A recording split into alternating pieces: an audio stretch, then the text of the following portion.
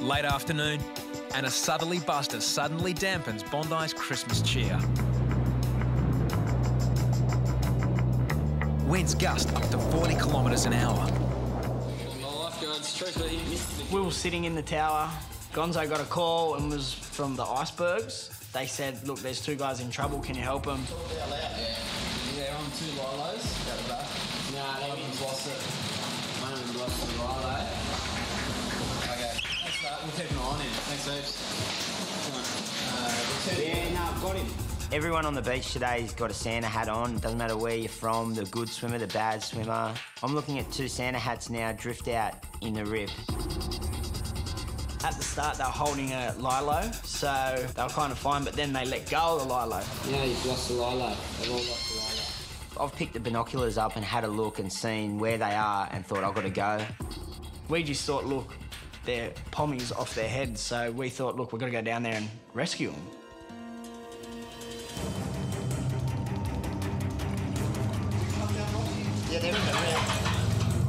We're driving down there to the rescue and we can't even see what's happening in front of us and we almost run into someone.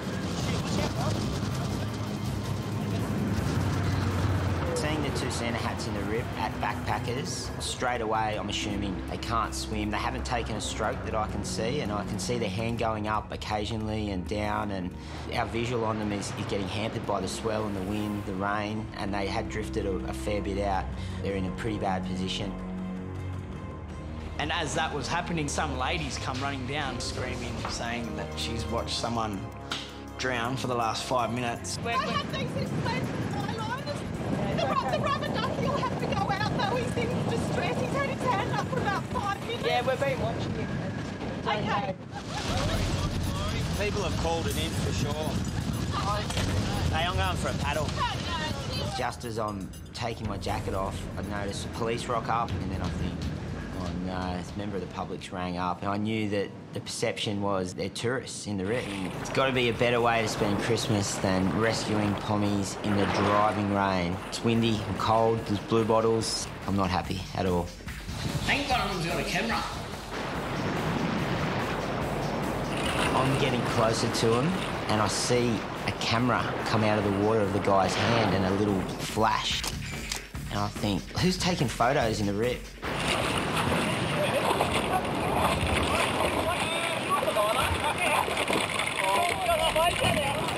Straight away, see Reidy's face. And I'm like, what are you doing, you idiot? I'm a lifeguard and I'm with one of Australia's greatest ever surf swimmers, Spot Anderson. We're out here having a ball. Spot's taking photos of me, getting smashed by waves on the Lilo. We turn around, next minute we can see police on the beach and Beardy's paddling out to us and it's like, hang on a minute, what's going on here? I'm so pissed off. He sees I'm angry. I said, look where you are. And he started laughing. And I just said, get in. Come on, the police are on the beach.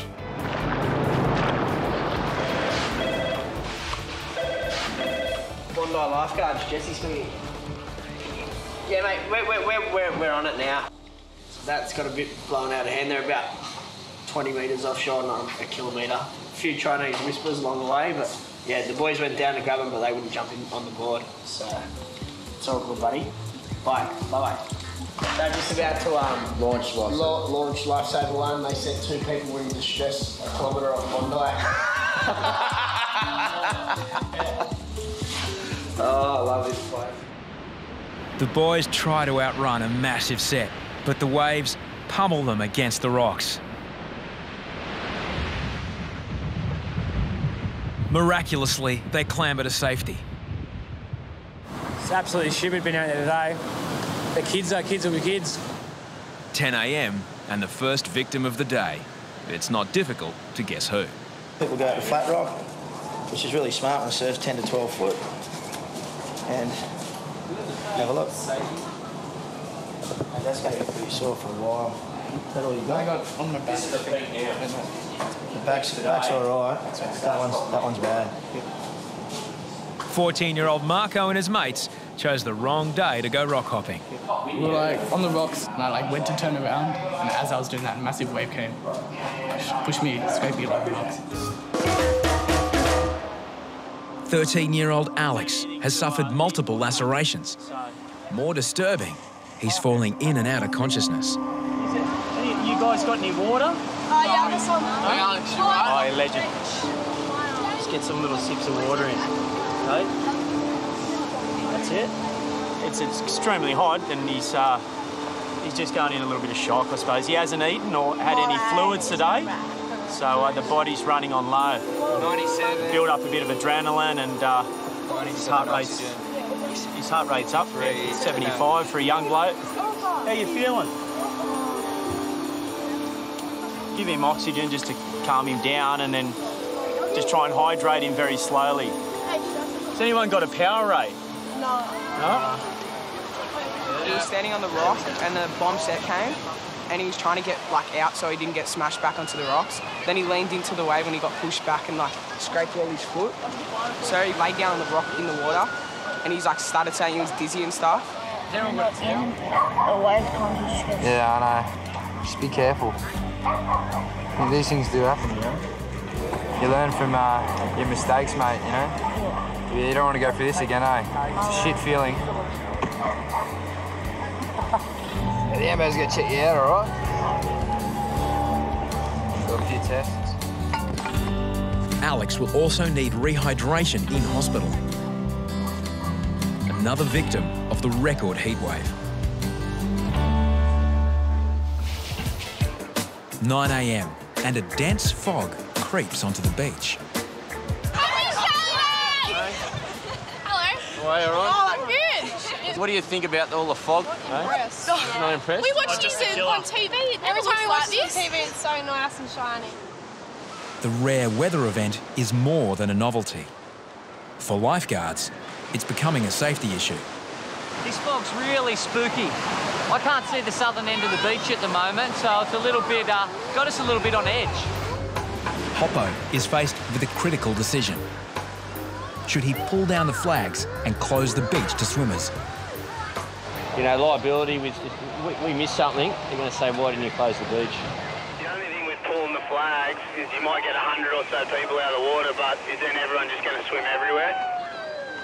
To make matters worse, thousands are about to attempt an inflatable thong world record. Have to stay very close to shore now with this fog. We might have to close the beach soon if you don't stay close to shore. Got to close the beach, man. Got to close the beach. The decision is made. On one of the busiest days, on Australia's busiest beach, Bondi is closed for swimming.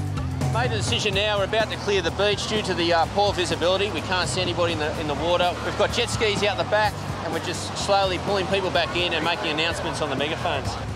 You want to go in, please? Just all the people in the water. The lifeguards have closed the beach due to the fog. Ladies and gentlemen, we have closed the beach. We have pulled the flags down. Our visibility was close to zero. We don't know when we will be putting the flags back up. I do know the event is on hold with the thongs at the moment. We're extremely sorry for this. Your life is very important to me. Thank you. What a beautiful speech. It's like he's going for Prime Minister.